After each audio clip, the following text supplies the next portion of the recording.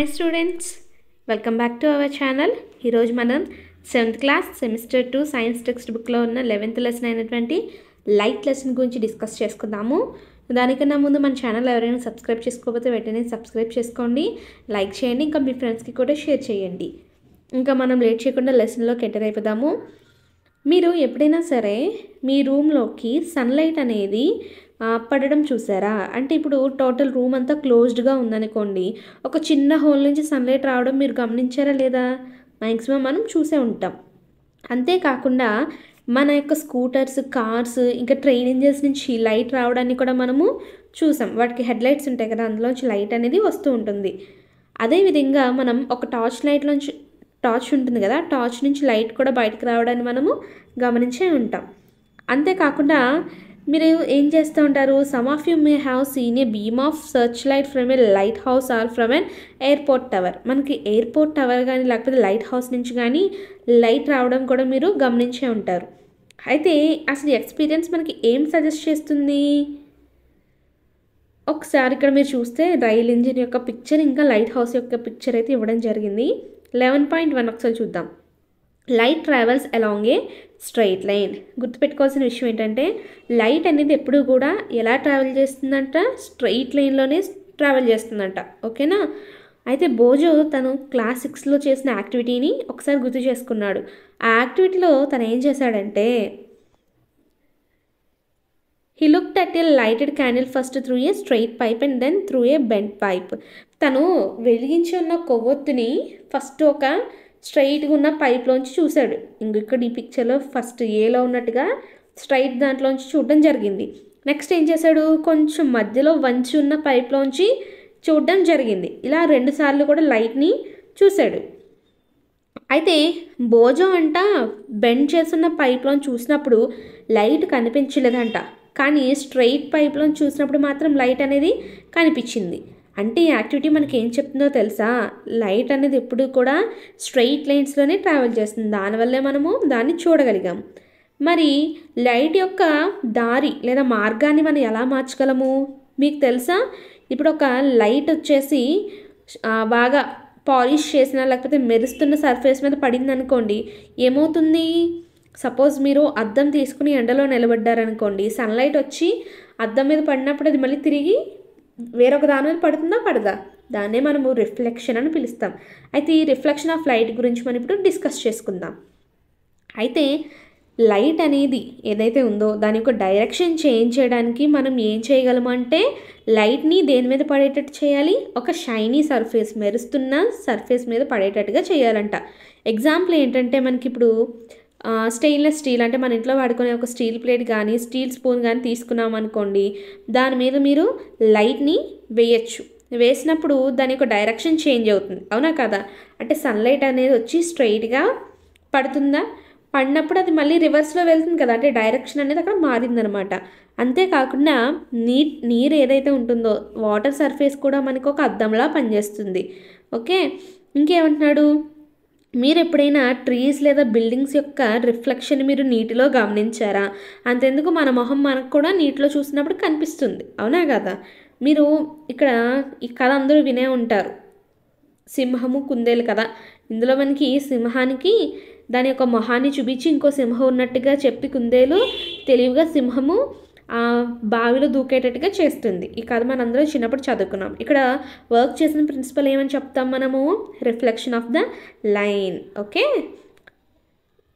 Next one. ఏదైనా polish లేదా shiny surface అనేవి ఏవైతే ఉంటాయో మనకి అవి ఒక అద్దంలా పనిచేస్తాయి. ఎప్పుడైనా సరే అద్దం మీద లైట్ పడినప్పుడు ఏం జరుగుతుంది? మీరు ఆల్రెడీ క్లాసిక్స్లో నేర్చుకున్నారు. ఒక మిర్రర్ అనేది లైట్ యొక్క డైరెక్షన్ని మార్చేస్తుంది. ఎప్పుడైతే లైట్ అనేది వచ్చి మిర్రర్ మీద పడిందో అప్పుడు లైట్ యొక్క డైరెక్షన్ని చేంజ్ చేస్తుంది. ఈ చేంజ్ ఏదైతే ఉందో దాన్నే మనం ఏమని పిలుస్తామంటే రిఫ్లెక్షన్ ఆఫ్ లైట్ అని పిలవడం జరుగుతుంది. మీరు ఏదైతే యాక్టివిటీ మీరు నేర్చుకున్నారో can you recall the activity in which you got the light of a torch reflected from a mirror torch light మీరు మిర్రర్ మీద వేసినప్పుడు లైట్ యొక్క డైరెక్షన్ అనేది మారింది కదా. దాన్ని మళ్ళీ ఒకసారి పెర్ఫామ్ చేసి చూడండి అంటున్నారు. దీన్ని కాస్త క్లియర్గా అర్థం చేసుకోవడం కోసము యాక్టివిటీ లెవెన్ పాయింట్ వన్ చూద్దాం. దానికన్నా ముందు ఇక్కడ చూడండి మనం ఇందాక చెప్పుకున్నాం కదా స్టోరీ. అయితే లైన్ అండ్ ద ర్యాబిట్ అనే స్టోరీ మనకి పంచతంత్రాలోదనమాట ఇందులో మనకి ర్యాబిట్ ఏం చేస్తుంది? సింహాన్ని ఫోన్లు చేస్తుంది. ఇది ఆల్రెడీ మనం డిస్కస్ చేసుకున్నాం. యాక్టివిటీ లెవెన్ పాయింట్ వన్ చూద్దాం. దీనికోసం ఒక టార్చ్ తీసుకున్నాము. ఓకేనా? ఈ టార్చ్ని మనం ఏం చేస్తున్నామంటే cover its glass with a chart paper which has three narrow slits has shown in figure eleven point five ఇదిగో ఇక్కడ మీరు ఒకసారి ఫిగర్ లెవెన్ పాయింట్ ఫైవ్ చూసారనుకోండి ఇక్కడ ఏమంటున్నాడంటే మనం ముందు ఒక టార్చ్ లైట్ని తీసుకున్నాం. ఓకే? ఇదిగో ఇది ఒక టార్చ్ లైట్ ఈ టార్చ్ లైట్ని ఏం చేయమనేసి అంటున్నాడు? ఈ టార్చ్ లైట్ యొక్క గ్లాస్ ఉంటుందా లైట్ బయటకు వస్తుంది కదా మనకి. దాన్ని ఒక త్రీ కట్స్ పెట్టిన ఏదైతే చార్ట్ పేపర్ ఉందో ఆ చార్ట్ పేపర్తో ఏం చేస్తున్నాం? మొత్తం మనం ఇక్కడ కవర్ చేసేస్తాం ఇదంతా చూడ చూ చూసారు? ఇది కవర్ చేస్తాం కానీ త్రీ స్లిట్స్ మాత్రం అక్కడ పెట్టుకోవడం జరిగింది. ఓకే? ఇక్కడ కనిపించింది కదా? ఆ విధంగా మనము రెడీ చేసుకున్నాము.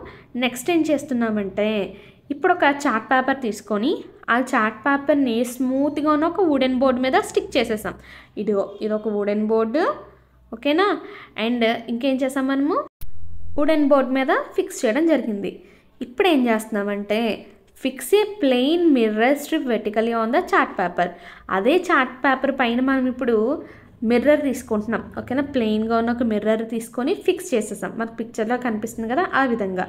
ఇప్పుడు మనం ఏం చేయాలంటే టార్చ్ని ఆన్ చేస్తున్నాం. దేని మీదకి? మిర్రర్ ఫిక్స్ చేసాం కదా ఆ మిర్రర్కి టా మిర్రర్ మీద పడేటట్టుగా మనము టార్చ్ని ఆన్ చేసి లైట్ని వేస్తున్నాం. లైట్ మనకి ఎలా వస్తుంది? డైరెక్ట్గా వస్తుందా అంటే రాదు. మనం స్లిట్స్నే కదా ఓపెన్గా పెట్టాము. అంటే మూడు చీలికల్లా పెట్టాం చూసారా? అందులోంచి మనకి లైట్ అనేది బయటకు వస్తుంది లైట్ని ఎలా అడ్జస్ట్ చేయమంటున్నాడంటే మనకి ఆ చార్ట్ పేపర్ మీద పడేటట్టుగా ఆ బోర్డు ఏదైతే ఉందో దాని మీద పడేటట్టుగా చేయమంటున్నాడు. చేసి మనకి యాంగిల్స్ని మార్చమంటున్నాడు అనమాట అంటే తిరిగి రిఫ్లెక్షన్ అనేది మనకి ఏ విధంగా కనిపిస్తుందో పిక్చర్లో ఆ విధంగా వచ్చేటట్టుగా పెట్టమంటున్నారు. అయితే ఇక్కడ మనకు అర్థమైన విషయం ఏంటంటే మిర్రర్ లైట్ యొక్క డైరెక్షన్ని మార్చిందా లేదా? మార్చింది. అదే విధంగా ఇప్పుడు ఏం చేయమంటున్నాడు? ఈ టార్చ్ ఏదైతే ఉందో దాన్ని అటుపక్కకి ఇటుపక్కకి జరపమంటున్నాడు. అండ్ లైట్ యొక్క డైరెక్షన్ అనేది మారుతుందా లేదా? రిఫ్లెక్ట్ అయిన లైట్ ఓకేనా? మిర్రర్లోకి మీరు చూసారనుకోండి లైట్ యొక్క డైరెక్షన్తో మనము మిర్రర్లో స్లిట్స్ని చూడొచ్చు. అంటే ఏవైతే చీలికలు పెట్టామో అందులో నుంచి లైట్ వస్తుంది చూసారా? దాన్ని మనం మిర్రర్ మీద కూడా చూడొచ్చు. అంటే ఏంటి అక్కడ యాక్చువల్గా? అవి రియల్ స్లిట్స్ కాదు. మనకు అద్దంలో కనిపిస్తున్నవి రియల్ స్లిట్స్ కాదు. టార్చ్ లైట్లోంచి వచ్చి దాని యొక్క ఇమేజ్ అనేది మిర్రర్ మీద పడుతుంది చూసారు? దాన్ని మనము అద్దంలో చూడగలుగుతున్నాం. ఈ యాక్టివిటీ మనకి ఏం చెప్తుందంటే లైట్ అనేది ఎప్పుడు కూడా ఒక ప్లెయిన్ మిర్రర్ మీద వేసినప్పుడు రిఫ్లెక్ట్ అవుతుంది అనే విషయాన్ని తెలుసుకుందాం. అయితే ఇక్కడ మనకి మిర్రర్స్ ద్వారా ఏర్పడిన ఇమేజెస్ ఉంటాయి కదా? వాటి గురించి ఇంకాస్త ప్లేఫుల్గా తెలుసుకుందాము. ఓకేనా? యాక్టివిటీ లెవెన్ పాయింట్ టూ చూద్దాం దానికోసం. దానికన్నా ముందు ఒకసారి ఇక్కడ కాషన్ చూడండి. మనకి ఎప్పుడు కూడా లైటెడ్ క్యాండిల్ అంటే వెలిగించిన కొవ్వొత్తిని జాగ్రత్తగా పట్టుకోవాలి. అంతేకాకుండా టీచర్ యొక్క ప్రజెన్స్లో ఈ యాక్టివిటీని చేయమంటున్నారు. ఓకే ఈ యాక్టివిటీలో ఇప్పుడు మనం ఏం చేస్తున్నామంటే వెలిగించిన కొవ్వొత్తిని తీసుకొచ్చి ఒక ప్లెయిన్ మిర్రర్ ఎదురుగా పెట్టాం. పెట్టిన తర్వాత ఆ వెలుగుతున్న మంట ఏదైతే ఉందో ఆ ఫ్లేమ్ని మనం అద్దంలో చూస్తున్నాం. మనకి ఎలా కనిపిస్తుందంటే ఈ కొవ్వొత్తి వెనక ఏదైతే యాక్చువల్ కొవ్వొత్తి ఉందో దాని వెనక ఇంకో కొవ్వొత్తి పెట్టినట్టుగా మనకు అద్దంలో కనిపిస్తుంది. కానీ యాక్చువల్గా అది ఏంటి? ఆ కొవ్వొత్తి యొక్క ఇమేజ్ అనమాట అద్దంలో కనిపిస్తున్నది కొవ్వొత్తి యొక్క ప్రతిబింబం అని మనం తెలుగులో అంటాం. దాన్ని ఇంగ్లీష్లో ఇమేజ్ అంటాం. అండ్ ఇక్కడ ఆబ్జెక్ట్ ఏంటి అంటే క్యాండిల్ అనేది ఇక్కడ ఆబ్జెక్ట్ అనమాట ఇప్పుడు డిఫరెంట్ పొజిషన్స్కి మార్చమంటున్నాడు. మార్చి మిర్రర్లో మనకి ఆ క్యాండిల్ అనేది ఎలా కనిపిస్తుందో కూడా చూడండి అంటున్నాడు. ఇక్కడ పహేలి ఏం తెలుసుకోవాలనుకుంటుందంటే అసలు మనం చూడడానికి కారణం ఏంటి వస్తువులు మనందరం చూస్తున్నాం కదా. ఎలా చూడగలుగుతున్నాం అని అంటున్నాడు. అప్పుడు భోజం ఏమని ఆలోచించాడంట? ఆబ్జెక్ట్స్ ఎప్పుడు కనిపిస్తే మనకి? కేవలము లైట్ అనేది వస్తువు మీద పడినప్పుడు అది రిఫ్లెక్ట్ అవుతుందనమాట వస్తువు మీద లైట్ పడినప్పుడు అది రిఫ్లెక్ట్ అయ్యి మన కన్నును చేరుకున్నప్పుడు మాత్రమే మనము ఆ ఆబ్జెక్ట్ని చూడగలము అనేసి భోజం అంటున్నాడు. రైట్ అంటారా? రాంగ్ అంటారా? కరెక్టే. ఎప్పుడైనా సరే లైట్ ఒక వస్తువు మీద పడి అది రిఫ్లెక్ట్ అయ్యి మన కంటి వరకు చేరుకున్నప్పుడు మాత్రం మనం ఆ వస్తువుని అయితే చూడగలుగుతాము. ఓకే? నెక్స్ట్.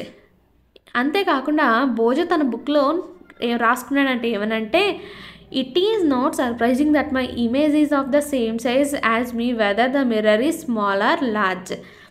అద్దం చిన్నదైనా పెద్దదైనా కూడా మన అద్దంలో చూసుకున్నప్పుడు మన సైజ్ అనేది సేమ్గానే ఉంటుంది. ఓకేనా? అందులో సర్ప్రైజ్ అవ్వాల్సిన విషయం అయితే ఏమీ లేదు అనేసి నో నోట్ చేసుకున్నాడు. ఇక్కడ చూడండి was the image upright in each case image అనేది అన్ని సందర్భాల్లోని కూడా స్ట్రైట్గానే వచ్చింది. అంటే నిటార్గా వచ్చిందా అంటున్నాడు. లేదా ఫ్లేమ్ అనేది appear on the top of the candle as the object మనకి ఫ్లేమ్ అనేది క్యాండిల్ పైన ఉన్నట్టుగా కనిపిస్తుందా లేదా?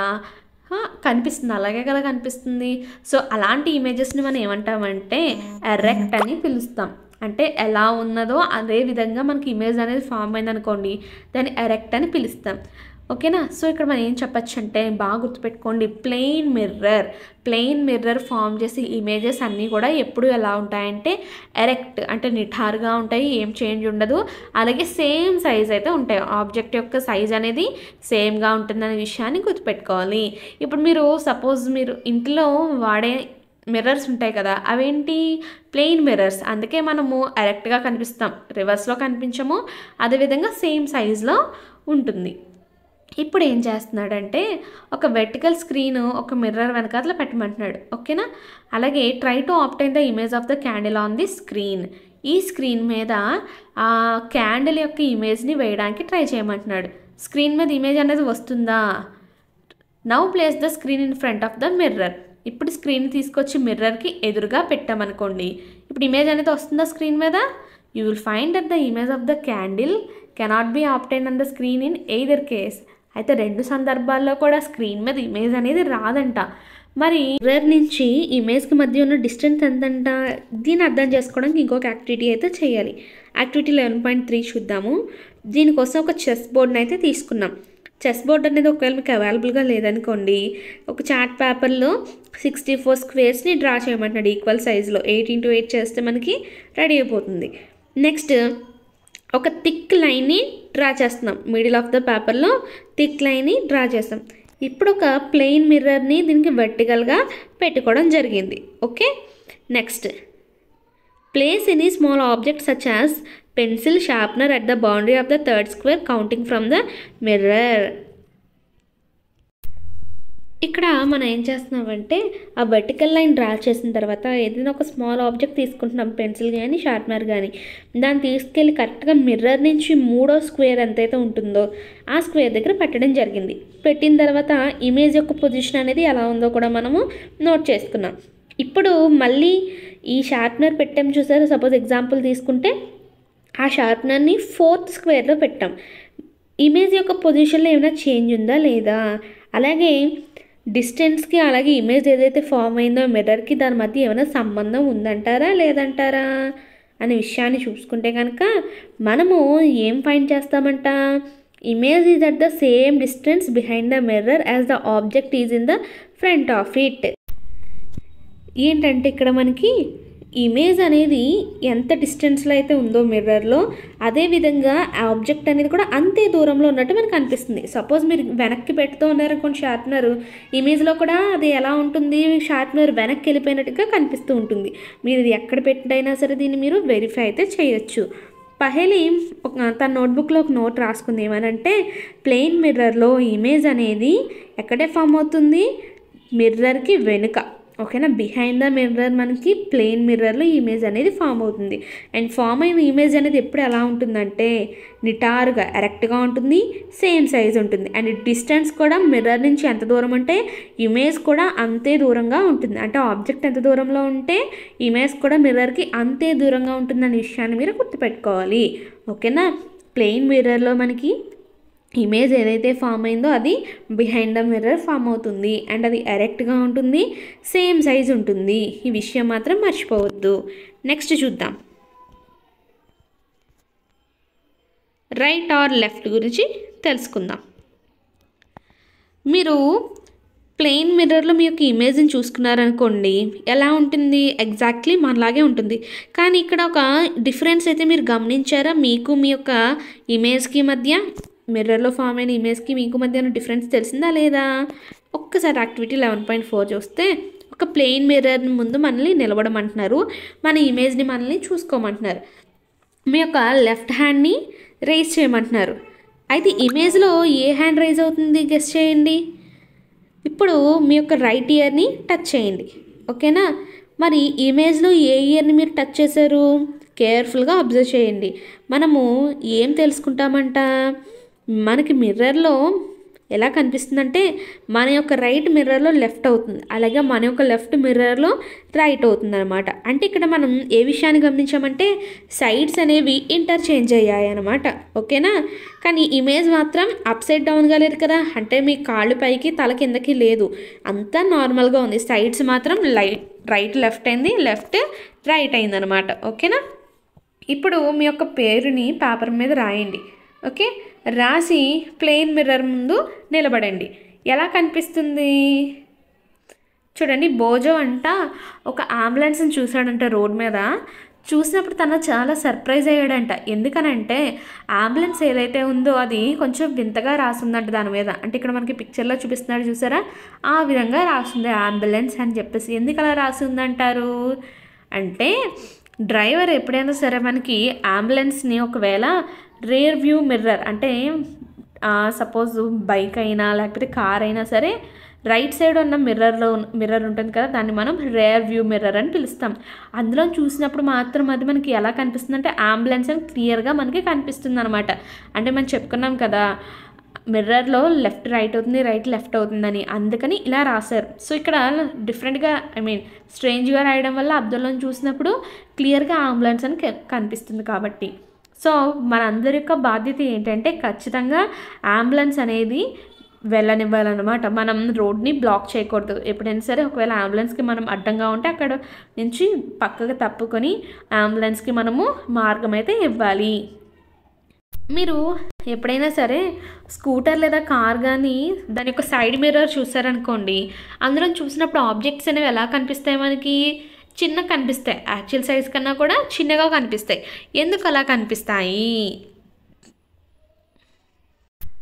ఓకే ఇప్పుడు మనము ప్లేయింగ్ విత్ స్పెరికల్ మిర్రర్స్ గురించి డిస్కస్ చేసుకుందాం.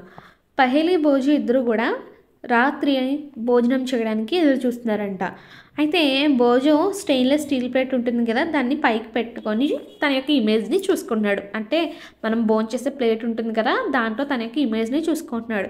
చూసుకొని ఏమంటున్నాడు ఇది అచ్చం ప్లెయిన్ మిర్రర్ లాగే పనిచేస్తుంది అనేసి అంటున్నాడు. మీరు ఎప్పుడైనా అలా చూసుకున్నారా లేదా? అయితే తను ఇక్కడ ఏం చెప్తున్నాడంటే ఇమేజ్ అనేది ఎలా ఉందంట? ఎరెక్ట్గా ఉంది సేమ్ సైజులో ఉంది. ఇప్పుడు పహేలి ఏం చేసిందంటే తన యొక్క ఇమేజ్ని స్టీల్ స్పూన్ తీసుకొని స్టీల్ స్పూన్ వెనక తన యొక్క ఇమేజ్ని చూసుకోవడం స్టార్ట్ చేసింది. అప్పుడు భోజన్ పిలిచి ఇలా చూడు నా ఇమేజ్ అనేది ఎలా ఉంది? అనేసి అంటుంది తను. ఎరెక్ట్ ఇమేజ్ అది కూడా ఎలా ఉంది? నిటారుగానే ఉంది కానీ సైజ్ వచ్చేసి చిన్నగా ఉందంట. ఈ స్పూన్ అది ఎలా పనిచేస్తుందంట? ప్లెయిన్ మిర్రర్లా కాకుండా ఇంకొంచెం డిఫరెంట్గా పనిచేస్తుందని పహేలి చెప్పింది. ఇప్పుడు మీరు ఒక స్పూన్ యూస్ చేసి దాని యొక్క లేదా కర్వ్డ్గా ఉన్న షైనింగ్ సర్ఫేస్ ఏదైనా తీసుకుని మీ యొక్క ఇమేజ్ని చూడండి. యాక్టివిటీ లెవెన్ పాయింట్ వన్ చూద్దాము. మళ్ళీ ఒక స్టెయిన్లెస్ స్టీల్ స్పూన్ తీసుకున్నాం ఓకేనా? తీసుకొని దాని యొక్క అవుటర్ సైడ్ అంటే పైన ఉంటుంది కదా అవుటర్ సైడ్ ఏదైతే ఉంటుందో దాన్ని మీ ఫేస్ యొక్క దగ్గరగా తీసుకున్నాం తీసుకుంటే మీ ఇమేజ్ మీకు ఎలా కనిపిస్తుంది? ఫిగర్ లెవెన్ పాయింట్ టెన్లో ఉన్నట్టుగా కనిపిస్తుంది. ఓకేనా? ఈ ఇమేజ్ అనేది కొంచెం మనకి ప్లెయిన్ మిర్రర్తో కంపేర్ చేసుకుంటే డిఫరెంట్ డిఫరెంట్గా ఉంది. ఇమేజ్ అనేది ఎరెక్ట్గా ఉందా అంటే ఎరెక్ట్గానే ఉంది. మరి సైజ్ అనేది ఎలా ఉంది? సేమ్ ఉందా? స్మాలర్ ఉందా? లార్జర్ ఉందా? అంటే స్మాలర్ ఉంది. ఇది ఎక్కడంటే స్పూన్ యొక్క అవుట్ సైడ్ అనమాట అవుటర్ సైడ్ అలా కాకుండా స్పూన్ యొక్క ఇన్నర్ సైడ్ చూస్తే ఏమవుతుందో చూద్దాం. Now look at your image using the inner side of the spoon. This time you may find that your image is erect and larger in size. ఇప్పుడు చూస్తేనంట మన యొక్క ఇమేజ్ అనేది ఇంకొంచెం నిఠారుగా కనిపిస్తుంది పెద్దగా కూడా కనిపిస్తుందంట.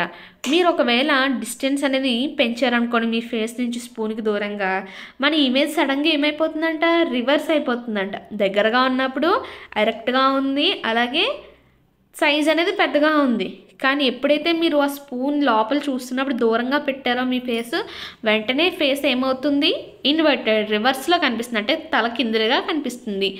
మీరు దీన్ని ఇంకా ఏం యూస్ చేసి చేయమంటున్నారు? మన ఫేసే కాకుండా అక్కడ పెన్సిల్ కానీ పెన్ కానీ పెట్టి యాక్టివిటీని ట్రై చేయమంటున్నారు. ఇక్కడ మనకి కర్వ్డ్ షైనింగ్ సర్ఫేస్ ఏదైతే ఉందో స్పూన్ది అది ఎలా పనిచేస్తుందంటే ఒక మిర్రర్లా పనిచేస్తుంది. మోస్ట్ కామన్ ఎగ్జాంపుల్ ఏంటంటే కర్వ్డ్ మిర్రర్కి స్పెరికల్ మిర్రర్ అనేది curved మిర్రర్కి most common example if the reflecting surface of a spherical mirror is concave it is called a concave mirror బాగా గుర్తుపెట్టుకోండి. రిఫ్లెక్టింగ్ సర్ఫేస్ ఉంటుంది కదా స్పెరికల్ మిర్రర్ తీసుకుంటే ఆ స్పెరికల్ మిర్రర్ యొక్క రిఫ్లెక్టింగ్ సర్ఫేస్ అనేది కాన్కేవ్ షేప్లో ఉంటే చూడండి మనకి ఏ ఇచ్చాడు కదా ఏ ఏదై ఏదైతే డయాగ్రామ్ ఉందో దాన్ని ఏమంటామంటే కాన్కేవ్ అని పిలవడం జరుగుతుంది. చూడండి ఇలా వచ్చింది ఏంటంటే కాన్కేవ్ షేప్ సో అలాంటి మిర్రర్స్ని కాన్కేవ్ మిర్రర్స్ అని పిలుస్తాం. అలా కాకుండా రిఫ్లెక్టివ్ సర్ఫేస్ అనే సర్ఫేస్ అనేది కాన్వెక్స్లో ఉందనుకోండి అంటే ఈ విధంగా ఉందనుకోండి దాన్ని ఏమంటామంటే కాన్వెక్స్ మిర్రర్ అని పిలవడం జరుగుతుంది. అండర్స్టాండ్ మరి అసలు కాన్కేవ్ అలాగే కాన్వెక్స్ మిర్రర్స్ అనేవి స్పెరికల్ మిర్రర్స్ అనేవి ఎందుకు అయ్యాయి అనే విషయాన్ని డిస్కస్ చేద్దాం. ఒక రబ్బర్ బాల్ తీసుకోండి. రబ్బర్ బాల్ తీసుకొని ఒక నైఫ్ లేదా హాక్సా బ్లేడ్ తీసుకొని దాన్ని మధ్యలోకి కట్ చేసేసాం. కట్ చేసినప్పుడు మీరు కొంచెం కేర్ఫుల్గా ఉండండి లేదా పెద్దవాళ్ళు ఎవరైనా సరే కట్ చేయమనండి. ఇన్నర్ సర్ఫేస్ చూసారనుకోండి బాల్లో అంటే లోపలికి ఉంది కదా అది కాన్కేవ్ సర్ఫేస్ అనమాట ఓకేనా? అవుటర్ సైడ్ ఉంది చూసారా? అది వచ్చేసి కాన్వెక్స్ సర్వే సర్ఫేస్. అర్థమైందా? ఇక్కడ మనకి క్లియర్గా చూస్తే కనిపిస్తుందా? హాఫ్ పార్ట్ ఉందా? ఈ హాఫ్ పార్ట్లో లోపలికి ఉంటే దాన్ని ఏమంటామంటే మనము? కాన్కేవ్ సర్ఫేస్ అంటాం. అలా కాకుండా పైకి ఉబ్బెత్తుగా ఉంటే దాన్ని కాన్వెక్స్ సర్ఫేస్ అని పిలుస్తాం. గుర్తుపెట్టుకోండి. నెక్స్ట్. ఇన్నర్ సర్ఫేస్ ఏదైతే ఉందో స్పూన్లో అది అచ్చు ఎలా పనిచేస్తుందంటే మీరు చెప్పచ్చు కాన్కేవ్ లాగే పనిచేస్తుంది. ఓకేనా? స్పూన్ యొక్క లోపల ఇన్నర్ సర్ఫేస్ అనేది కాన్కేవ్ మిర్రర్లా పనిచేస్తుంది. అవుటర్ సర్ఫేస్ ఎలా పనిచేస్తుంది మరి? కాన్వెక్స్ మిర్రర్లా పనిచేస్తుంది. మనందరికీ తెలుసు ప్లెయిన్ మిర్రర్తో ఫామ్ అయిన ఇమేజ్ అనేది స్క్రీన్ మీద మనము ఆప్టైన్ చేయలేమని. మరి అన్ని ఇమేజెస్కి ఇలాగే జరు సారీ అన్ని మిర్రర్స్లో కూడా ఇలాగే జరుగుతుందా? కాన్కేవ్ మిర్రర్లో మరి ఫామ్ అయిన ఇమేజ్ని మనము స్క్రీన్ మీద ఫామ్ చేయగలమా లేదా అనే విషయాన్ని తెలుసుకుందాం. దీనికోసం యాక్టివిటీ లెవెన్ పాయింట్ సిక్స్ చూడండి. దానికన్నా ముందు ఇక్కడ ఒక కాషన్ ఇచ్చాడు. మనము ఈ యాక్టివిటీని వచ్చేసి లెవెన్ పాయింట్ సిక్స్ యాక్టివిటీని సన్లైట్లో చేస్తున్నాం. సో చాలా కేర్ఫుల్గా ఉండమంటున్నారు. సన్లైట్ని డైరెక్ట్గా చూడొద్దు అంటున్నారు అలాగే దానివల్ల ఏమవుతుందంటే మన ఐస్ అనేవి డ్యామేజ్ అయ్యే అవకాశాలు ఉన్నాయన్నమాట. So you may look at the image of the sun when it is thrown on a screen on a screen or a wall sun యొక్క ఇమేజ్ అనేది ఒక స్క్రీన్ మీద కానీ వాల్ మీద కానీ పడినప్పుడు మనము చూడొచ్చు అండి. డైరెక్ట్గా అయితే చూడొద్దు అనేసి చెప్తున్నారు. చూడండి ఇక్కడ మనకి కాన్కేవ్ మిర్రర్ని తీసుకున్నారు. యాక్చువల్గా ఫిగర్ లెవెన్ పాయింట్ ఫోర్ ఫోర్టీన్లో తీసుకొని ఏం చేస్తున్నారు? సన్ యొక్క ఇమేజ్ని రియల్ ఇమేజ్ని స్క్రీన్ మీద వేశారు. ఓకేనా సరే ఇప్పుడు ఈ యాక్టివిటీని మనం స్టార్ట్ చేద్దాము. దీనికోసం మనం ఒక కాన్కేవ్ మిర్రర్ని తీసుకున్నాం. చూడండి ఇమేజ్లో ఉన్నట్టుగా ఒక కాన్కేవ్ మిర్రర్ని తీసి అది సూర్యుడికి ఎదురుగా మనము నిలబడ్డాం. నిలబడి ఇప్పుడు ఏం చేస్తున్నామంటే లైట్ పడుతుందా? సన్లైట్ అనేది పడుతుంది చూసారా? దాన్ని రిఫ్లెక్ట్ చేస్తున్నాం. రిఫ్లెక్ట్ చేసి ఆ ఇమేజ్ దేని మీద వేస్తున్నామంటే ఒక పేపర్ తీసుకున్నాం. చూడండి దానికి ఆపోజిట్లో పేపర్ ఉంది కదా పేపర్ అనేది పడేటట్టుగా చేస్తున్నాం. డిస్టెన్స్ అనేది క్లియర్ మనం అడ్జస్ట్ చేసుకోవాలన్నమాట. అంటే ఒక షార్ప్ బ్రైట్ స్పాట్ మనకి ఇమేజ్లో ఉన్నట్టుగా ఎలా అయితే ఉందో చుక్కలాగా కనిపిస్తుంది చూసారా? ఆ విధంగా పడేంత వరకు కూడా వెయిట్ చేయాలి. ఓకేనా? మిర్రర్ని అలాగే పేపర్ని కదలకుండా కొంచెంసేపు అలాగే ఉంచండి కొన్ని నిమిషాలు. కాసేపటికి ఏమవుతుందంట? పేపరు కాలిపోవడం మొదలవుతుందంట. ఈ బ్రైట్ స్పాట్ ఏదైతే ఉందో అది యాక్చువల్గా ఏంటంటే మనకి సన్ యొక్క ఇమేజ్ అంట. అర్థమైందా? ఇక్కడ మనం ఏం నోటీస్ చేసాము ఈ ఇమేజ్ అనేది మనం స్క్రీన్ మీద ఫామ్ చేసాం అవునా కదా? ఒక కాన్కేవ్ మిర్రర్ మిర్రర్లో ఫామ్ అయిన ఇమేజ్ని మనం స్క్రీన్ మీద ఫామ్ చేస్తాం అంటే ఇక్కడ ఫామ్ అయిన ఇమేజ్ ఏదైతే ఉందో అది ఏంటది? రియల్ ఇమేజ్ ఓకేనా యాక్టివిటీ లెవెన్ పాయింట్ టూలో చూసుకున్నా అనుకోండి ప్లెయిన్ మిర్రర్ ఫామ్ చేసిన ఇమేజ్ని మనం స్క్రీన్ మీద అయితే వెయ్యలేము. స్క్రీన్ మీద వెయ్యలేని ఇమేజ్ని ఏమంటామంటే వర్చువల్ ఇమేజ్ అని పిలుస్తాం. బాగా గుర్తుపెట్టుకోండి. స్క్రీన్ మీద మనం వేయలేని ఇమేజ్ని వర్చువల్ ఇమేజ్ లేదా స్క్రీన్ మీద ఫామ్ చేయలేని ఇమేజ్ని వర్చువల్ ఇమేజ్ అని పిలుస్తాం. ఏ ఇమేజ్ని అయితే మీరు స్క్రీన్ మీద ఫామ్ చేయించగలుగుతున్నారో దాన్ని రియల్ ఇమేజ్ అని పిలుస్తాము. ఓకేనా? ఇప్పుడు క్యాండిల్ ఫ్లేమ్ ఉంటుంది కదా కొవ్వొత్తి యొక్క మంట ఏదైతే ఉందో దాన్ని కూడా కాన్కేవ్ మిర్రర్ యూస్ చేసి మనము స్క్రీన్ మీద ఫామ్ చేయించడానికి ట్రై చేద్దాం. దీనికోసం యాక్టివిటీ లెవెన్ పాయింట్ సెవెన్ చూడండి. ఒక కాన్కేవ్ మిర్రర్ని తీసుకుంటున్నాము స్టాండ్లో పెడతాం అనమాట any arrangement to keep the mirror steady would do అంటే మీరు స్టాండ్లో పెట్టకపోయినా దాన్ని కొంచెం కదలకుండా అంటే వనకుండా కదలకుండా ఉండాలన్నమాట ఆ విధంగా పెట్టుకోవచ్చు. సో ఇక్కడ స్టాండ్లో పెట్టుకొని ఒక టేబుల్ మీద పెట్టుకున్నాము. అండ్ ఇక్కడ ఒక పీస్ ఆఫ్ వైట్ పేపర్ తీసుకుంటున్నాం. ఒక కార్డ్బోర్డ్ షీట్ తీసుకొని దాని మీద ఒక వైట్ పేపర్ని పెట్టాం. ఏమంటున్నారు చూడండి ఇక్కడ? Say about fifteen into ten centimetres పెద్దగానే తీసుకుంటున్నాం. చూసారా? ఇక్కడ ఇమేజ్లో కనిపిస్తుంది కదా? ఆ విధంగా తీసుకున్నాం అనుకుందాం. ఇక్కడ this will act as a screen మనం తీసుకున్న వైట్ పేపర్ ఏదైతే ఉందో కార్డ్బోర్డ్ షీట్ మీద అది ఎలా పనిచేస్తుందంట? స్క్రీన్లో పనిచేస్తుంది. ఇప్పుడు నేను ఏం చేస్తున్నానంటే మనం టేబుల్ మీద ఆల్రెడీ ఏం చేస్తాం కాన్కేవ్ మిర్రర్ని స్టాండ్లో ఫిక్స్ చేసి పెట్టుకున్నాం. కనిపించిందా మీ అందరికీ? ఇదిగో ఇదేంటి? టేబుల్ మీద పెట్టుకున్న కాన్కేవ్ మిర్రర్ అనమాట ఫిక్స్ చేసి పెట్టుకున్నాము. ఇప్పుడు ఏం చేస్తున్నామంటే వెలిగించిన కొవ్వొత్తిని తీసుకొచ్చి టేబుల్కి టేబుల్కి పెట్టామన్నమాట. ఫిఫ్టీ సెంటీమీటర్స్ డిస్టెన్స్ ఉంటుంది రెండింటి మధ్య కూడా. అంటే మిర్రర్ టేబుల్ పైన ఉన్న మిర్రర్కి అలాగే వెలిగించిన కొవ్వతికి మధ్య డిస్టెన్స్ ఎంత ఉండాలంటున్నాడు ఫిఫ్టీ సెంటీమీటర్స్ వరకు ఉండాలంటున్నాడు. ఇప్పుడు ఏం చేస్తున్నామంటే ఈ ఫ్లేమ్ని చూసారా? వెలుగుతున్న మంట యొక్క ఇమేజ్ స్క్రీన్ మీద మనం వచ్చేలా ట్రై చేస్తున్నాం. దీనికోసం మనం ఏం చేయాలంటే move the screen till a sharp image of the flame is obtained.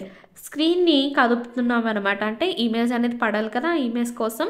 మనం ఏం చేస్తున్నామంటే అటు ఇటు కదులుస్తున్నాం స్క్రీన్ని. Make sure that the screen does not obstruct the light from the candle falling on the mirror చూడండి ఇక్కడ మనం స్క్రీన్ కలిపేటప్పుడు కొంచెం జాగ్రత్తగా చూసుకోవాలి. ఆ ఇమేజ్ అనేది మిర్రర్ మీద పడకుండా మనం చేయకూడదు. మిర్రర్ మీద ఖచ్చితంగా పడేటట్టు చూసుకోవాలి. అయితే ఇక్కడ ఫామ్ అయిన ఇమేజ్ అనేది రియల్ ఇమేజా వర్చువల్ ఇమేజా అంటే ఇక్కడ మనకు ఆల్రెడీ స్క్రీన్ మీద ఫామ్ అయింది కనిపిస్తుంది కదా సో ఇది ఒక రియల్ ఇమేజ్. మరి సేమ్ సైజ్ ఉంటుందా లేదా అని ఒక క్వశ్చన్ అడిగాడు. సేమ్ సైజ్ ఉందా పెద్దగా ఉందా? పెద్దగా కనిపిస్తుంది.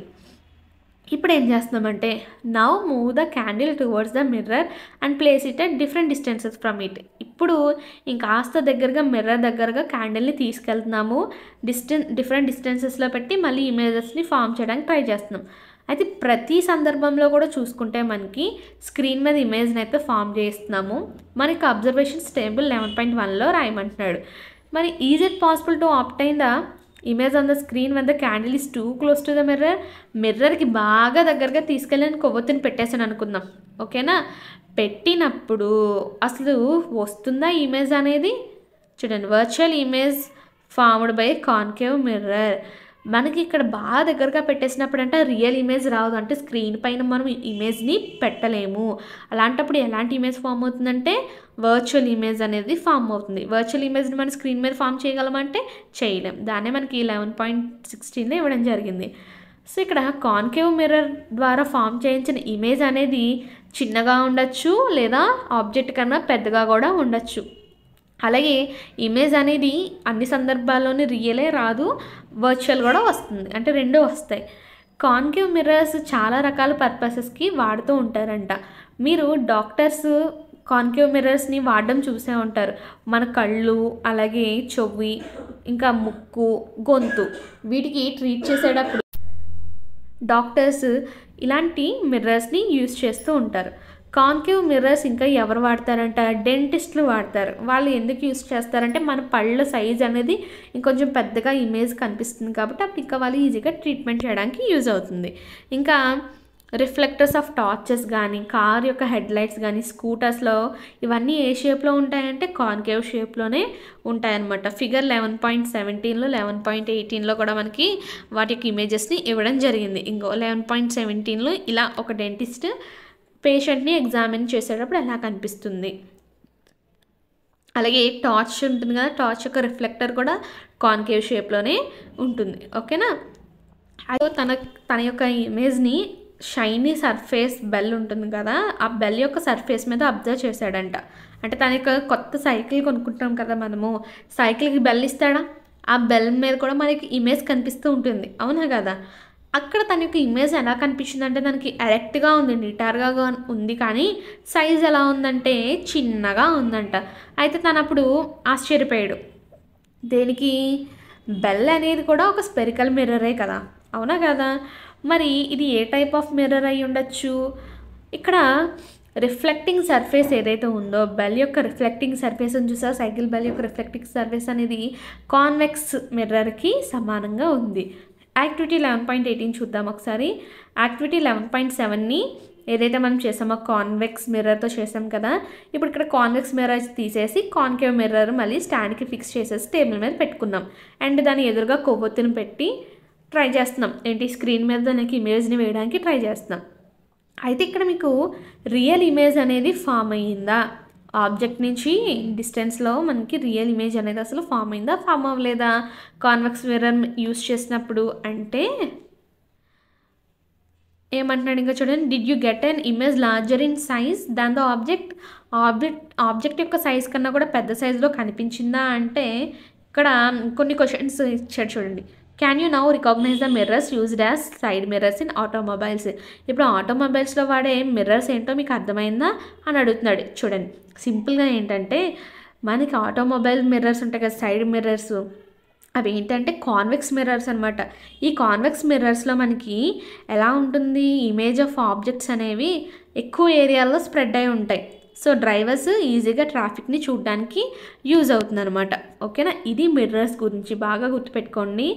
మనకి మిర్రర్స్ గురించి సంబంధించిన ఇన్ఫర్మేషన్ అయితే ఇక్కడతో అయిపోయింది.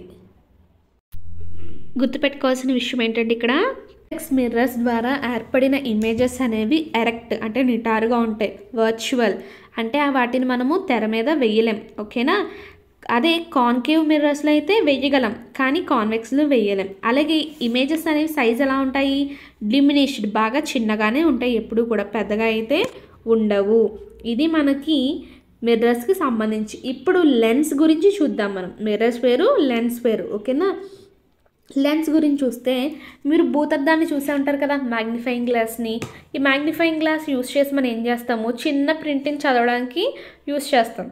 అవునా కదా? అంతేకాకుండా బాడీ పార్ట్స్ని అబ్జర్వ్ చేయడానికి కూడా యూస్ చేస్తాం. అంటే కాక్రోచ్ కానీ ఎత్వాం కానీ ఉంటాయి కదా వాటి యొక్క బాడీ పార్ట్స్ని అబ్జర్వ్ చేయడానికి కూడా మనము ఈ మ్యాగ్నిఫైయింగ్ గ్లాసెస్ని యూస్ చేస్తాం. అయితే మ్యాగ్నిఫైయింగ్ గ్లాస్ ఏంటంటే అదొక లెన్స్ అనమాట ఓకేనా? ఓకే. లెన్స్ అనేవి ఇంకా ఎక్కడ యూస్ చేస్తామంటే ఎక్కువగా మనము స్పెక్టికల్స్ అంటే కళ్ళజోడ్లు పెట్టుకుంటారు కదా అందులో. ఇంకా టెలిస్కోప్స్లో టెలిస్కోప్స్ అంటే ఏంటి? మనము అంతరిక్షంలో ఉన్న స్టార్స్ వాటిని చూడడానికి యూస్ చేస్తాము. ఇంకా మైక్రోస్కోప్ అంటే టైనీ ఆబ్జెక్ట్స్ని చూడడానికి యూస్ చేసే మైక్రోస్కోప్స్లో కూడా లెన్సెస్ని ఎక్కువగా యూస్ చేస్తారు. ఇంకా లెన్సెస్ని ఎందుకు యూస్ చేస్తారు అనేది మీరు ఏమైనా యూజెస్ తెలుసుకొని మీరు యాడ్ చేయొచ్చు అనమాట లిస్ట్లో. అయితే కొన్ని లెన్సెస్ని మనం ఇప్పుడు తెచ్చుకొని వాటిని టచ్ చేసి అవి ఎలా ఉన్నాయో ఫీల్ అయ్యి చెప్పమంటున్నారు. అయితే డిఫరెన్స్ అనేది తెలుస్తుంది మనకు ముట్టుకున్నప్పుడే. ఏ లెన్స్ అయితే మనకి బాగా గుర్తుపెట్టుకోండి లెన్సెస్లో చాలా జాగ్రత్తగా వినాలి ఇక్కడ. మిడిల్లో థిక్కర్గా ఉండి అంటే మిడిల్ పార్ట్ అనేది ఎలా ఉంటుందంట? సపోజ్ ఇది ఒక లెన్స్ అనుకుందాం. ఈ పార్ట్ అంతా కూడా బాగా థిక్కర్గా ఉంది అంటే మనకి మందంగా ఉంది. అండ్ ఇక్కడ ఎడ్జెస్ చూసుకుంటే అవి ఎలా ఉన్నాయంటే పలుషుగా ఉంటాయి. ఓకే? అలాంటి వాటిని ఏమంటామంటే మనము కాన్వెక్స్ లెన్స్ అని పిలుస్తాము. చూడండి మధ్యలో వచ్చేసి మందంగా ఉండి ఎడ్జెస్లో వచ్చేసి పలుచుగా ఉంటే వాటిని కాన్వెక్స్ లెన్సెస్ అని పిలుస్తాం.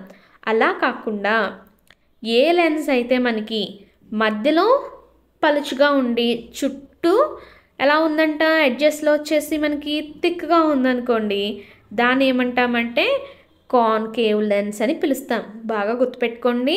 కాంకేవ్ లెన్సెస్ వచ్చేసి మధ్యలో పలుచగా ఉంటాయి చుట్టూ కూడా ఎలా ఉంటాయంటే కొంచెం థిక్గా ఉంటాయి.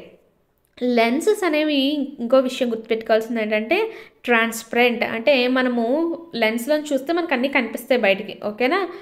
అంటే సపోజ్ మీరు ఒక క్యాండిల్ తీసుకున్నారనుకోండి ఒక క్యాండిల్ తీసుకుని ఆ క్యాండిల్లోంచి మీరు సారీ ఆ క్యాండిల్ మీరు ఒక లెన్స్లోంచి చూస్తే మీకు లెన్స్ క్లియర్ కనిపిస్తుంది ఓకేనా? కానీ మరి మరి మిర్రర్ తీసుకుంటే అలా కనిపిస్తుందా అంటే కనిపించదు. మిర్రర్కి మనకి కేవలం వన్ సైడ్ మాత్రమే ఉంటుంది ఇంకొక సైడ్ ఉండదు. కానీ అలా కాదు. లెన్స్ అనేవి ట్రాన్స్పరెంట్ ఉంటుంది బోత్ సైడ్స్ కూడా. Next. Let us play with lenses. Lenses గురించి మనం ఇప్పుడు తెలుసుకుందాం. దానికన్నా ముందు మీరు బాగా ఇమేజెస్ని గమనించండి. కాన్వెక్స్ లెన్స్ అలాగే కాన్కేవ్ లెన్స్ యొక్క పిక్చర్ ఇచ్చాడు. కాన్వెక్స్ లెన్స్ గురించి మనం ఏమని చెప్పుకున్నాము? చూడండి ఇక్కడ ఎడ్జెస్ అనేవి ఎలా ఉన్నాయి? థిన్గా ఉన్నాయి. అవునా కదా? అండ్ ఇది చూసుకుంటే మనకి ఎలా ఉంది? థిక్గా ఉంది. అండ్ అదే విధంగా కాన్కేవ్ లెన్స్ తీసుకున్నాం అనుకోండి అడ్జస్ట్ ఎడ్జెస్ వచ్చేసి బాగా మందంగా ఉన్నాయి.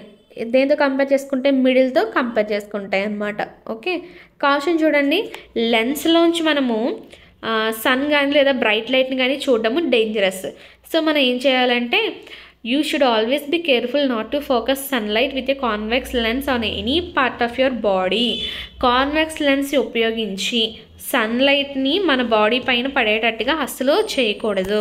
ఓకేనా next activity eleven point nine చూద్దాము. యాక్టివిటీ లెవెన్ పాయింట్ నైన్ చూద్దాము. దీనికోసం ఫస్ట్ నేను ఏం చేస్తానంటే ఒక కాన్వెక్స్ లెన్స్ లేదా మ్యాగ్నిఫైయింగ్ గ్లాస్ కానీ తీసుకుంటున్నాను. అంటే మ్యాగ్నిఫైయింగ్ గ్లాస్ దేంతో తయారై ఉందంటే కాన్వెక్స్ లెన్స్ దాన్ని మీరు గుర్తుపెట్టుకోండి. దీన్ని ఏం చేస్తున్నానంటే సన్ రేస్ వస్తాయి కదా మనకి దాని మీద పెట్టాను అనమాట అంటే సన్ రైస్ వచ్చి కాన్వెక్స్ లెన్స్ మీద పడేటట్టుగా పెట్టాను. కింద వచ్చేసి ఏం చేశాను? ఒక పేపర్ని పెట్టడం జరిగింది. డిస్టెన్స్ని అడ్జస్ట్ చేస్తున్నాను లెన్స్కి అలాగే పేపర్కి మధ్య. ఎప్పటి వరకు అంటే మనము కాన్కేవ్ మిర్రర్లో చేసాం కదా అదే విధంగా ఇక్కడ కాన్వెక్స్ లెన్స్లో ఏం చేస్తున్నామంటే ఒక బ్రైట్ స్పాట్ అనేది ఏర్పడేంత వరకు కూడా అడ్జస్ట్ చేస్తున్నాను. పేపర్ని అలాగే ఆ లెన్స్ని కూడా అలాగే హోల్డ్ చేసి ఉంచాను కొన్ని నిమిషాల పాటు. ఏం జరిగింది? పేపర్ బర్న్ అవ్వడం మొదలైందా లేదా అనేసి అడుగుతున్నాడు. ఇప్పుడు కాన్వెక్స్ లెన్స్ తీసేసి అదే సేమ్ యాక్టివిటీలో కాన్కేవ్ లెన్స్ పెట్టాం. ఇక్కడ మీకు బ్రైట్ స్పాట్ అనేది కనిపించా లేదా కనిపించిందా లేదా అసలు? ఇక్కడ బ్రైట్ స్పాట్ అనేది రావట్లేదు. ఎప్పుడు కాన్కేవ్ లెన్స్ మనం యూస్ చేసినప్పుడు రావట్లే. అదే కాన్వెక్స్ లెన్స్ పెట్టినప్పుడు బ్రైట్ స్పాట్ అనేది వస్తుంది. ఓకేనా? We have seen in the case of mirrors that for different positions of the object, the nature and size of the image change. అంటే ఇక్కడ మనం ఏ అబ్జర్వ్ చేసామంటే డిఫరెంట్ మిర్రర్స్ తీసుకున్నప్పుడు అంటే కాన్కేవ్ మిర్రర్ కాన్వెక్స్ మిర్రర్స్ తీసుకున్నప్పుడు ఫామ్ అయిన images అనేవి ఏవైతే ఉన్నాయో వాటి యొక్క స- ఏంటంటే సైజెస్ అనేవి డిఫరెంట్ డిఫరెంట్గా వచ్చాయి. అవునా? బట్ లెన్సెస్లో కూడా అలాగే జరుగుతుందా అంటే yes activity eleven point ten చూద్దాం దీనికోసము. ఏం చేస్తున్నానంటే కాన్వెక్స్ లెన్స్ తీసుకుంటున్నాను. దాని ఒక స్టాండ్కి ఫిక్స్ చేశాను. మనం కాన్కేవ్ మిర్రర్తో చేస్తాం కదా ఫస్ట్. సేమ్ అదే విధంగా కాన్వెక్స్ లెన్స్ తీసుకొని నేను ఒక స్టాండ్కి ఫిక్స్ చేసి టేబుల్ మీద పెట్టాను. ఓకే? ఇప్పుడు మళ్ళీ వెలిగించిన ఒక క్యాండిల్ తీసుకొచ్చి ఎంత దూరంలో పెట్టాను? ఆ లెన్స్కి ఫిఫ్టీ సెంటీమీటర్స్ దూరంలో పెట్టడం జరిగింది. ఇమేజ్ని ఫామ్ చేయడానికి మనము ట్రై చేస్తున్నాం. సేమ్ మనకి ఏంటి పేపర్ స్క్రీన్ తీసుకున్నాము వైట్ కలర్ పేపర్ స్క్రీన్ తీసుకుని దాని మీద ఇమేజ్ అనేది పడేటట్టుగా ట్రై చేస్తున్నాం. అలాగే మనం ఆ స్క్రీన్ని ముందుకి వెనక్కి అడ్జస్ట్ చేస్తూ ఉన్నామన్నమాట. సరైన ఇమేజ్ ఫామ్ అవడం కోసం. ఎలాంటి ఇమేజ్ ఫామ్ అయిందంటారు? అది రియలా వర్చువలా అనేది చూద్దాం. ఇప్పుడు మనకి now vary the distance of candle from the lens. ఇప్పుడు మళ్ళీ డిస్టెన్స్ మార్చమంటున్నాడు. ఇప్పుడు మళ్ళీ సేమ్ క్యాండిల్ ఫ్లేమ్ యొక్క ఇమేజ్ని పేపర్ స్క్రీన్ మీద పడేటట్టుగా జరపమంటున్నాడు. అబ్జర్వేషన్స్ ఏంటి? ఫైనల్గా కాన్కేవ్ మిర్రర్ ద్వారా ఫామ్ అయిన ఇమేజ్ యొక్క అబ్జర్వేషన్స్ ఏంటి? చూద్దాం ఇప్పుడు. దానికన్నా ముందు ఒకసారి బోజో చూడండి. ఏం చెప్తున్నాడు? మనము we can see the image formed by a lens from the side opposite to that of the object ఏమంటున్నాడంటే మనము లెన్స్ లెన్స్ నుంచి మనము చూస్తున్నాం చూసారా? అలా చూస్తున్నప్పుడు ఇమేజ్ ఎక్కడ ఫామ్ అవుతుందంట? ఆబ్జెక్ట్కి ఆబ్జెక్ట్ ఉన్న ఆపోజిట్ సైడ్ ఫామ్ అవుతుంది. అంటే సపోజ్ ఆబ్జెక్ట్ అనేది ఇక్కడ ఉందనుకుందాం. ఆబ్జెక్ట్ అనేది ఇక్కడ ఉందనుకోండి దీనికి ఆపోజిట్ సైడ్లో మనకి ఇమేజ్ అనేది ఫామ్ అవుతుందన్నమాట. అది బోజో అబ్జర్వ్ చేశాడు. దానికన్నా ముందు ఒక్కసారి మనము ఈ పైన ఉన్న బ్లూ బాక్స్ చూద్దాము. బాగా గుర్తుపెట్టుకోండి. Convex lens. ఏంటవి? కాన్వెక్స్ లెన్స్ ఎప్పుడు కూడా కన్వర్జ్ చేస్తాయి. ఓకేనా? అంటే లైట్ ఏదైతే ఉందో ఆ లైట్ని ఏం చేస్తాయి అవి? ఆబ్జె దాని మీద పడిన లైట్ని అంతా కూడా ఒకటి చేసి చేయడానికి ట్రై చేస్తుంది. అందుకని దాన్ని కన్వర్జింగ్ లెన్స్ అని పిలుస్తారు. ఇక్కడ మీరు గమనించవచ్చు ఇది ఒక కాన్వెక్స్ లెన్ లెన్సా? ఈ కాన్వెక్స్ లెన్స్ మీద మనకి లైట్ అనేది వచ్చి పడుతుంది. ఇవన్నీ లైట్ రేస్ అనుకుందాం. ఈ లైట్ రేస్ దీంట్లోంచి బయటకు వచ్చేసరికి ఏమైనాయి? అన్నీ కూడా ఒక పాయింట్ దగ్గర కలిసిపోయినాయి. అర్థమైందా? దీన్నే మనం ఏమంటామంటే కన్వర్జెన్స్ అని పిలుస్తాం. ఇలా లైట్ని ఏం చేస్తుంది? కలిపేస్తుంది కాబట్టి దీన్ని ఏమంటామంటే మనము ఈ కాన్వెక్స్ లెన్స్ని కన్వర్జింగ్ లెన్స్ అని పిలుస్తాము. ఇంకో పక్కన చూసుకున్నారనుకో మీరు ఇక్కడ మీకు కాన్కేవ్ లెన్స్ కనిపిస్తున్నాయి. ఈ కాన్కేవ్ లెన్స్ నుంచి మనకి ఏమవుతుంది? మళ్ళీ లైట్ రేస్ బయటకు వచ్చాయి.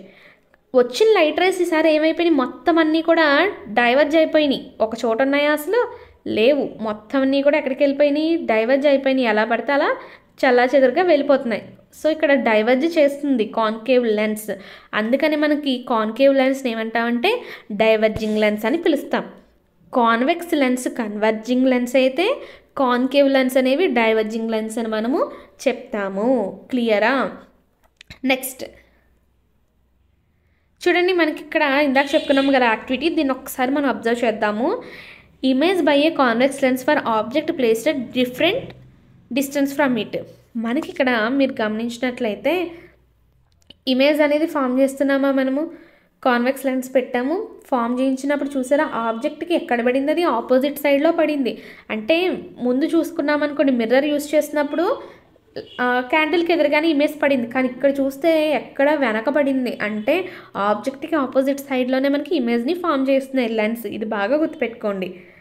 నెక్స్ట్ ఇక్కడ virtual image formed by the convex lens convex lens అనేవి వర్చువల్ ఇమేజెస్ని ఫామ్ చేయించింది కూడా ఇక్కడ మనకి పిక్చర్ ఇచ్చాడు. అండ్ ఇంకోటి ఏంటంటే image formed by a concave lens concave lens ద్వారా ఫామ్ అయిన ఇమేజ్ ఎలా ఉందనేది కూడా ఇవ్వడం జరిగింది. మీరు హయ్యర్ క్లాసెస్కి వెళ్ళినప్పుడు దీని గురించి ఇంకాస్త క్లియర్గా నేర్చుకుంటారు ఓకేనా ఇంకా నెక్స్ట్ ఏమంటున్నాడు చూడండి. Did you get in any position of the object and image which was erect and magnified అయితే మనకి ఫామ్ అయిన ఇమేజ్ ఏదైతే ఏదైనా సరే ఉందా? ఆ ఇమేజ్ ఎలా ఉందంట? ఎరెక్ట్ అంటే నిటార్గా ఇంకా మ్యాగ్నిఫైడ్ మ్యాగ్నిఫైడ్ అంటే ఏంటి? అది యాక్చువల్ పొజిషన్ కన్నా కూడా పెద్దగా కనిపిస్తే దాన్ని దాన్ని మనము మ్యాగ్నిఫైడ్ అని పిలుస్తాం. మనం లెవెన్ పాయింట్ టూ సిక్స్లో చూడొచ్చు ఇటువంటిది. అయితే ఈ ఇమేజ్ని మన స్క్రీన్ మీద వేయగలమా? వేయలేమా? ఆ ఇమేజ్ అనేది రియల్ అంటారా వర్చువల్ అంటారా? This is how a convex lens is used as magnifying glass ఈ విధంగా మనకి మ్యాగ్నిఫైయింగ్ గ్లాస్గా యూజ్ చేస్తారు కాన్వెక్స్ లెన్స్ని ఓకేనా అది వర్చువల్ ఇమేజే మ్యాక్సిమము దాన్ని మన స్క్రీన్ మీద పట్టలేము ఇంకా చూసుకుంటే మనకి images formed by concave lens చూసుకున్నాం అనుకోండి ఇమేజెస్ అనేవి ఎలా ఉంటాయంట? ఇవి వచ్చేసి వర్చువల్గా ఉంటాయి. అండ్ ఎరెక్ట్ ఇంకా స్మాల్గా ఉంటాయని మనం చెప్తాం. సో కాన్కేవ్ లెన్స్ ద్వారా ఫామ్ అయిన ఇమేజెస్ కూడా ఎలా ఉంటాయంటే వర్చువల్గా ఉంటాయి ఎరెక్ట్గా ఉంటాయి కానీ సైజ్ అనేది కొంచెం చిన్నగా ఫామ్ అవుతాయి అనమాట ఇది concave lens and con convex lens గురించి ఓకే ఇప్పుడు next sunlight white or coloured మరి సన్లైట్ వస్తుంది కదా మనకి సన్ నుంచి. అది యాక్చువల్గా వైట్ కలర్లో ఉంటుందా డిఫరెంట్ కలర్స్లో ఉంటుందా అనే విషయాన్ని డిస్కస్ చేద్దాం. మీరు ఎప్పుడైనా ఆకాశంలో రెయిన్బో చూసారా ఇంద్రధనస్సుని?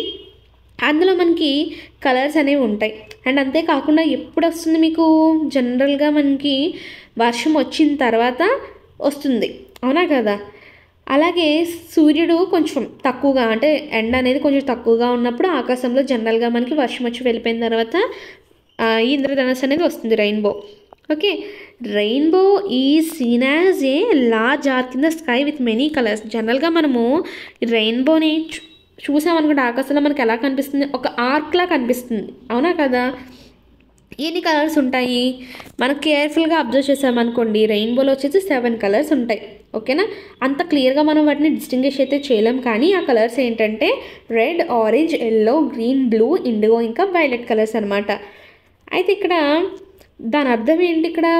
తను ఏమంటుంది చూడండి పహేలి? అయితే వైట్ లైట్లో సెవెన్ కలర్స్ ఉంటాయా అనేసి అంటుంది. దీనికి సంబంధించి మనం ఇంకా క్లియర్గా తెలుసుకుందాము. మీరు సోప్ బబుల్స్ చూసే ఉంటారు. అవునా? ఆ సోప్ బబుల్స్లో కూడా మనకి కలర్స్ కనిపిస్తూ ఉంటాయి అప్పుడప్పుడు. అదేవిధంగా మీరు ఒక కాంపాక్ట్ డిస్క్ సీడీ తీసుకున్నారనుకోండి దాని మీద సన్లైట్ వేసినప్పుడు కూడా మనకి ఏమవుతుంది? డిఫరెంట్ కలర్స్ కనిపిస్తూ ఉంటాయి. అవునా కదా? అదేవిధంగా ఈ ఎక్స్పీరియన్సెస్ని బేస్ చేసుకొని మనం ఏం చెప్పచ్చు అంటే సన్లైట్ అనేది ఎప్పుడు కూడా డిఫరెంట్ కలర్స్ యొక్క మిక్స్చర్ అని మనము చెప్పాలి. దీని గురించి ఈ యాక్టివిటీ లెవెన్ పాయింట్ లెవెన్ చూద్దాము. ఒక గ్లాస్ ప్రిజ్మ్ తీసుకున్నాం గ్లాస్ ప్రిజ్మ్ అంటే ఇక్కడ ఇమేజ్లో కనిపిస్తుంది చూసారా? గాజుతో చేయబడిన ఏంటంటే పిరమిడ్ షేప్లో చూసారా? అదనమాట. దాన్ని ప్రిజ్మ్ అని పిలుస్తాం. ఇందులో నుంచి ఇప్పుడు ఏం చేస్తామంటే మనం సన్లైట్ వేస్తున్నాం. సన్లైట్ని పంపించిన తర్వాత ఒక చిన్న హోల్ నుంచి వేస్తున్నాం సన్లైట్ని వేసిన తర్వాత మనం ఏం చేస్తాము దాంట్లోంచి లైట్ బయటకు వస్తుంది కదా?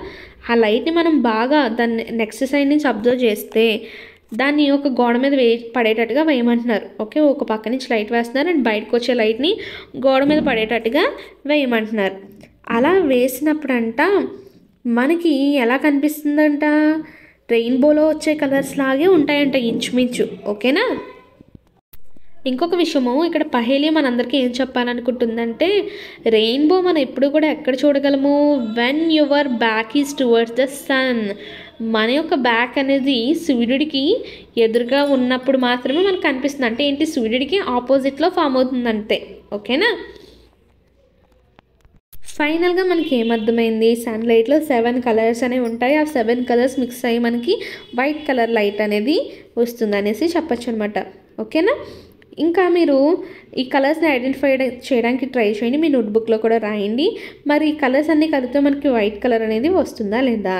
ట్రై చేద్దాం. దీనికోసం activity eleven point one two చూద్దాము.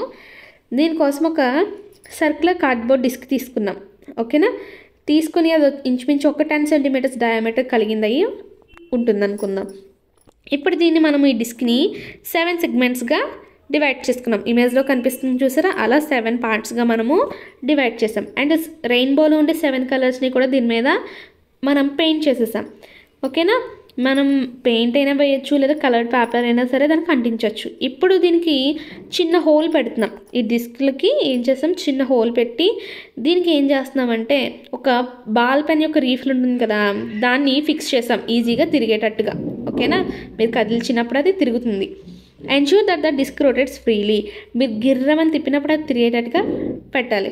ఇప్పుడు ఈ డిస్క్ని మనము డే లైట్లో ఓకేనా అంటే ఎండలో మనము రొటేట్ చేసామనుకోండి ఆ డిస్క్ అనేది ఫాస్ట్గా తిరిగినప్పుడు మనకు అన్ని కలర్స్ మిక్స్ అయిపోయి అది ఇంచుమించు వైట్ కలర్లా కనిపిస్తుంది అనమాట సో ఈ డిస్క్ ఏదైతే ఉందో దాన్ని ఏమని పిలుస్తామంటే న్యూటన్స్ డిస్క్ అని పిలుస్తామన్నమాట. ఈ యాక్టివిటీ చాలా ఇంట్రెస్టింగ్గా ఉంది కాబట్టి ట్రై చేసి చూడండి.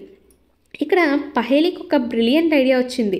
తను ఏం చేసిందంటే ఒక చిన్న బొంగరం తయారు చేసింది ఈ స్మాల్ సర్కులర్ డిస్క్ని చూసారా? దాని యొక్క సహాయంతో బొంగరంలా తయారు చేసి దాన్ని రొటేట్ చేసింది రొటేట్ చేసినప్పుడు ఇంచుమించు తనకు ఎలా కనిపించిందంట? వైట్ కలర్లో కనిపించడం జరిగింది. ఓకేనా? ఇది మన లెసన్ మీ అందరికీ అర్థమైందని అనుకుంటున్నాను. మీకు కనుక నా ఎక్స్ప్లెనేషన్ నచ్చితే తప్పకుండా సబ్స్క్రైబ్ చేయడం మర్చిపోద్దు అండ్ మీ ఫ్రెండ్స్కి కూడా షేర్ చేయండి. అండ్ మీకు ఇంకా ఏమైనా లెసన్స్ కావాలంటే తప్పకుండా కమెంట్ సెక్షన్లో కమెంట్ చేయండి.